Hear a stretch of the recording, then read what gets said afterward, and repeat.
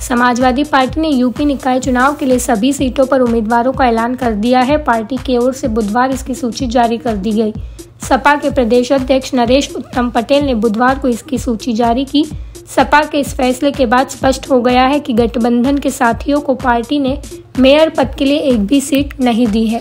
Samajwadi party ने UP निकाय चुनाव के लिए सभी सीटों पर उम्मीदवारों का ऐलान कर दिया है। पार्टी की ओर से बुधवार इसकी सूची जारी कर दी गई।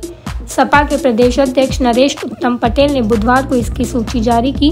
सपा के इस फैसले के बाद स्पष्ट हो गया है कि गठबंधन के साथियों को पार्टी ने मेयर पद के लिए एक भी सीट नहीं दी है।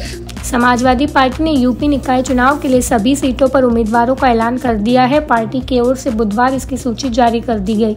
सपा के प्रदेश अध्यक्ष नरेश उत्तम पटेल ने बुधवार को इसकी सूची जारी की।